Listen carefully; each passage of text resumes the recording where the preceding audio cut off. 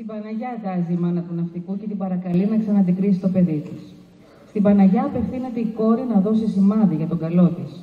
Την ευχή της ζητά ο λαϊκός δημιουργός στα ζευγαρώματα.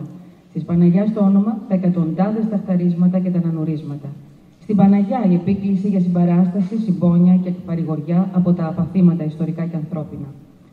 Ο λαϊκός δημιουργός ταυτίζει τη μάνα με την Παναγιά και στο δημοτικό τραγούδι την εξυψώνει σε Αγία, σαν προσευχή και σαν το καντήλι της ζωής. Η μάνα είναι προσευχή, χαράς όποιον την έχει. Είναι μια ρίζα να κουμπάς, βοριάς, να μην σε βρέχει.